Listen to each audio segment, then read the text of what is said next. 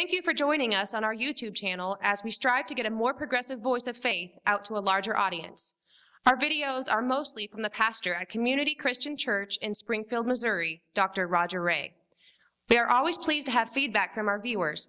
You can visit our website at spfccc.org or write to us at Reverend Dr. Ray at AOL.com. The story of Jonah uh, in the Old Testament is a parable, and, and in my opinion, it is one of the most wonderful and yet one of the most misunderstood books in all of the Bible. It was never intended to describe a historical event. This short work doesn't tell us about a real person, or for that matter, it doesn't tell us about a real city. Um, certainly, uh, the city under question didn't take three days to walk across. And much to many folks' uh, disappointment, it's not even about a real whale. It struggles to tell us something about God and our anger. And like any well crafted parable, it's full of irony and humor and dramatic action. The story is set up this way A Jewish man is called by God to go and preach to the capital city of Assyria. It is set in a time when Assyria has destroyed Israel, pretty well messed up Judah and most of their neighbors. Assyria was practicing that uh, much coveted ancient form of warfare in which their nation built up their wealth by raiding their neighbors and taking all of their stuff.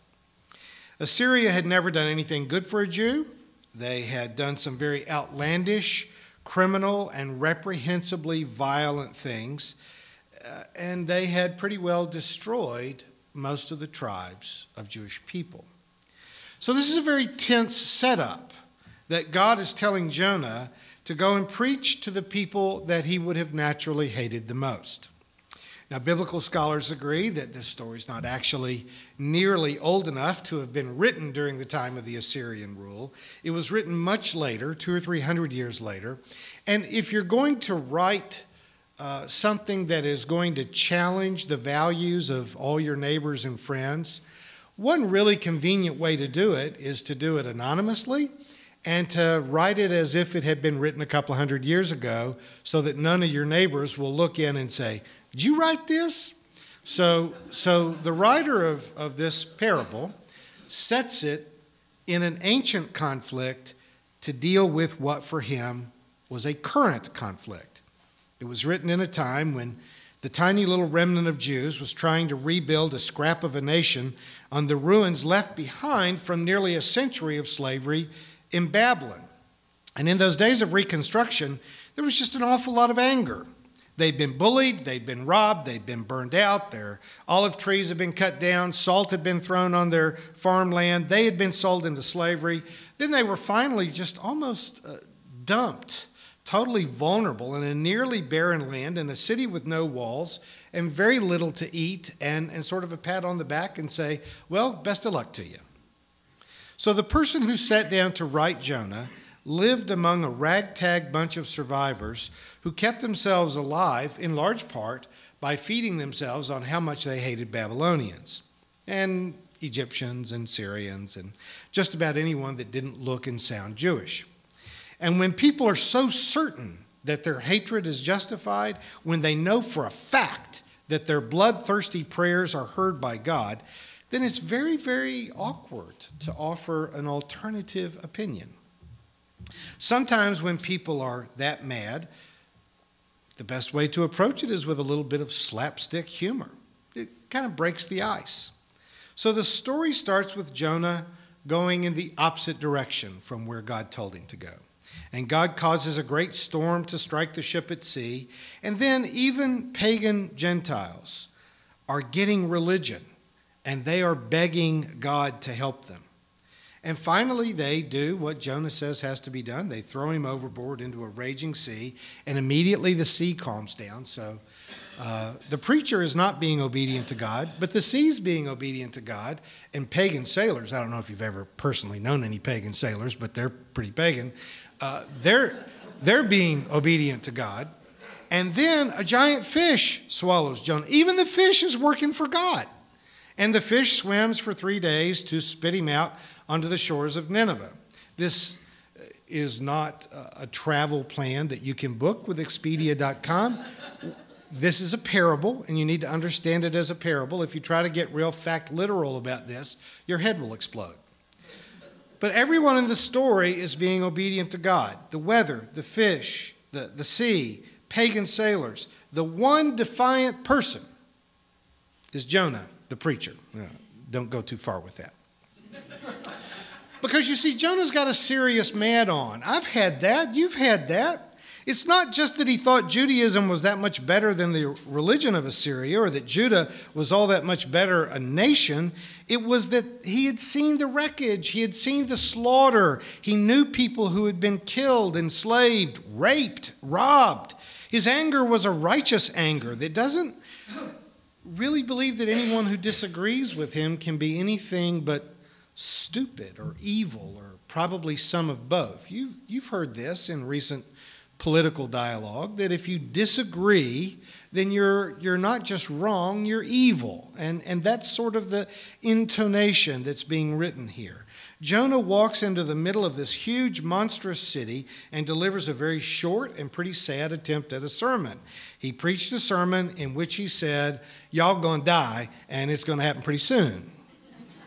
Um, and against all credible odds, they actually believed him. I've never tried preaching that sermon, but I don't think it would go very well. But, but this is a parable, you know, this is not a description of history. So he walks into the middle of the city, says, God really hates you a lot, and you are going to die a bloody, horrible death. And then the entire city repents. And the storyteller tells us that not only did the people repent and the king repented, but for goodness sakes, the cattle repented. The cattle are wearing sackcloth and ashes. This is the best preacher in the history of the world.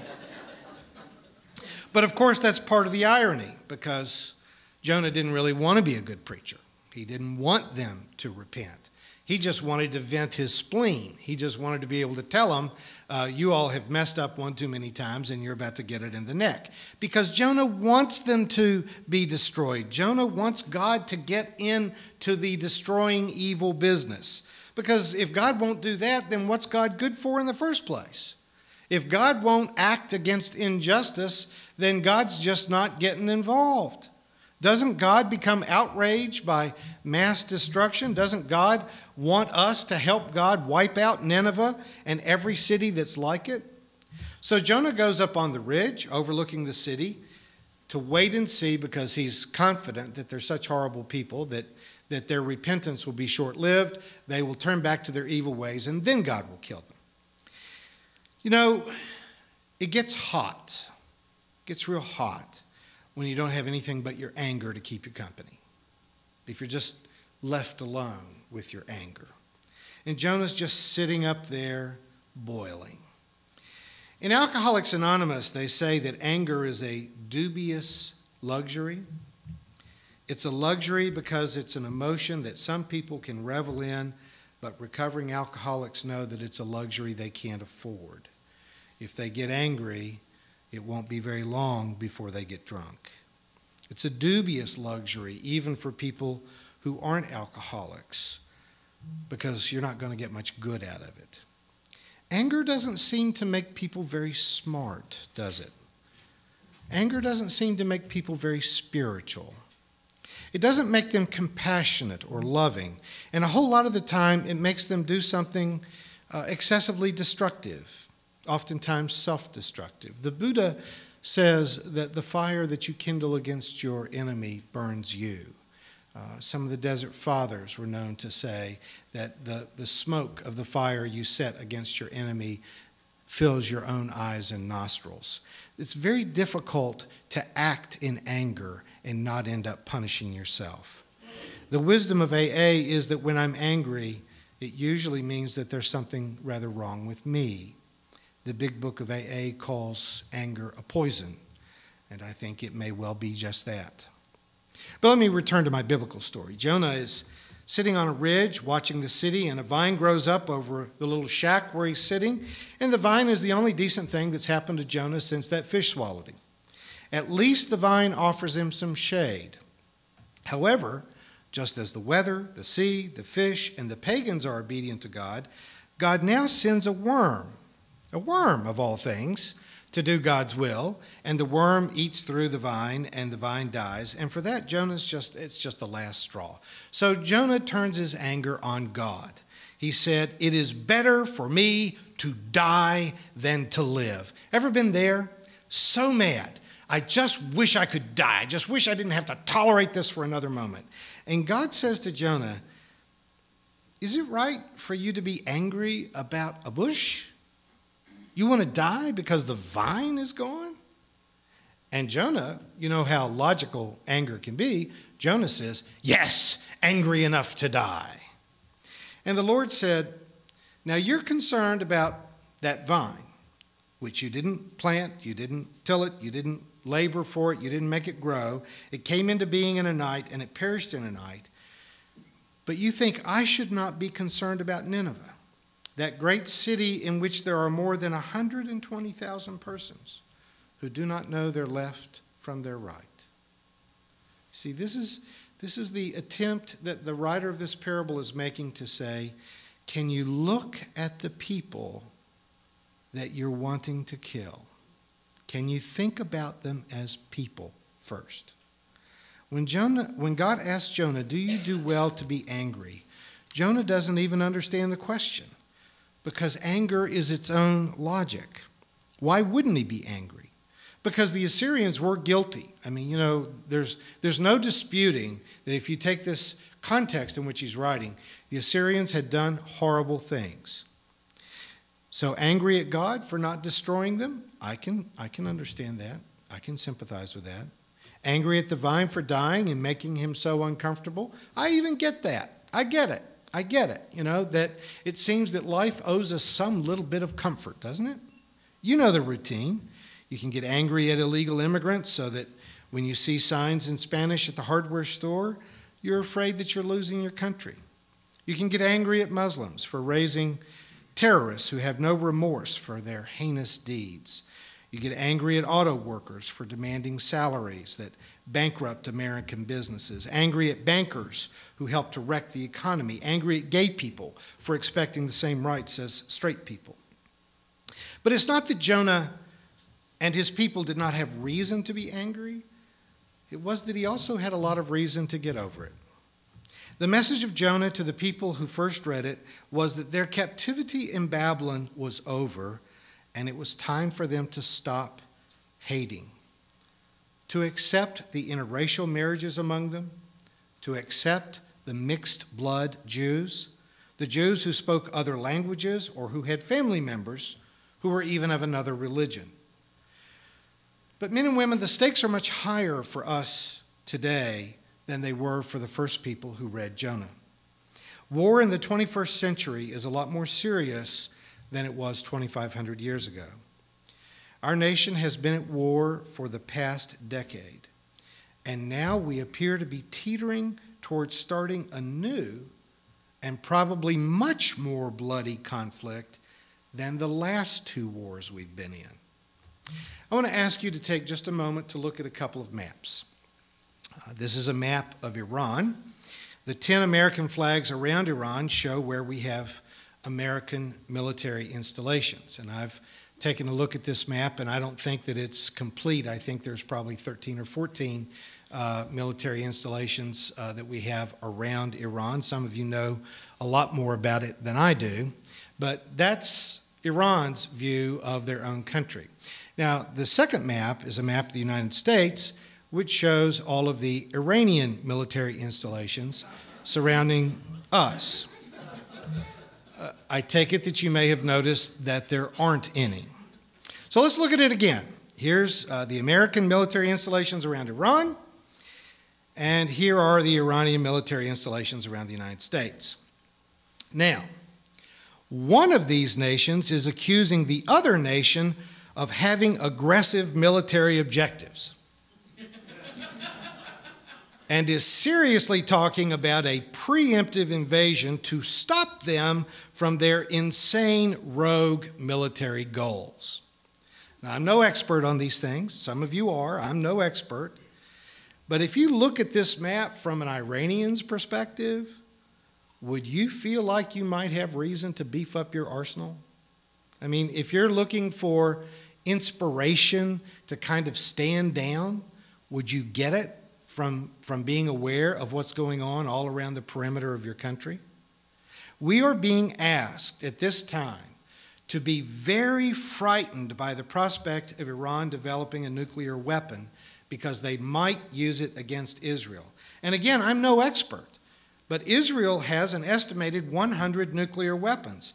And I suspect that what would keep Iran from bombing Israel is the same thing that kept us from bombing Russia and Russia from bombing us all during the Cold War mutually assured destruction. And I don't like it. I wish the world could be ridded entirely of all nuclear weapons.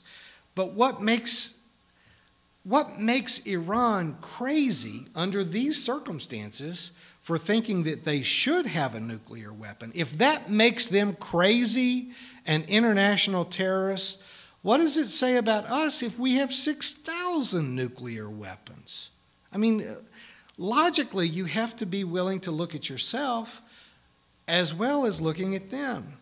And so God asks Jonah, Do you do well to be angry? And should I not be concerned about Nineveh, that great city where there are more than 120,000 persons who do not know their left from their right? God asks Jonah to look at the inhabitants of the city that he wants to have destroyed. And I just think that's a capital idea. And I would like for us to take a couple of minutes to just look at some of the people in Iran.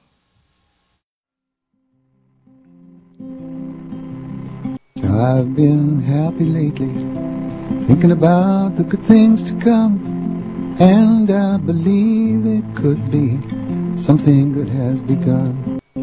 Yes, I've been smiling lately, dreaming about the world as one. And I believe it could be someday it's going to come. Cause out on the edge of darkness, there rides a peace train. Oh, peace train, take this country, come take me home again. Yes, I've been smiling lately, thinking about the good things to come. And I believe it could be something good has begun. Oh, peace train sounding louder, glide on the peace train.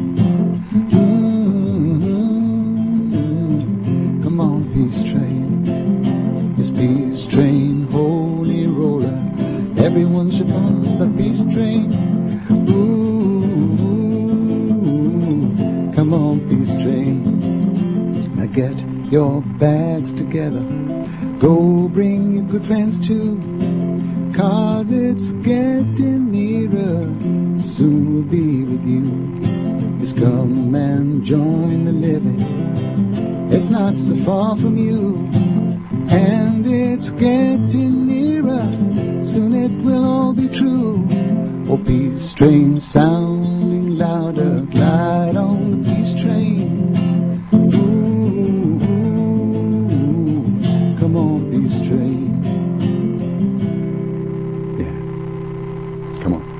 Old Beach Boys song, Bomb Iran?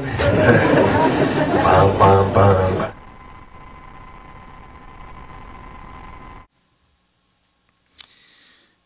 In years past, we've invaded Mexico, we've invaded Canada, we've gone to war with England, France, Germany, and Japan, all of which are now close allies and trading partners. Well, maybe with the exception of France. I still like the wine and cheese. It is possible for old enemies to become allies. It is possible to find a way around the anger and to move towards something that is much more healthy. Not out of fear, but out of courage, because men and women, the root of anger is almost always fear. You don't have to move towards peace because you are ignorant and naive, but because you have a powerful faith. The question the Bible poses to us is to wonder if we do well to be angry. Jonah asks us to remember how compassionate that God is and asks us to see how silly we look when we cannot see that our bloodlust is not echoed by God. If I could wish one thing for my nation today, it is just this I wish that my people would stop being afraid.